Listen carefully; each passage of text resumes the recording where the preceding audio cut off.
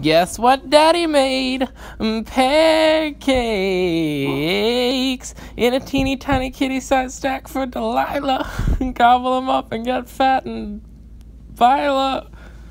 Uh, cause I need me a fat ass cat with a plump round ass doing tiny booty claps like clap, clap, clap, eat the pancakes, clap, clap, clap, get out of your home.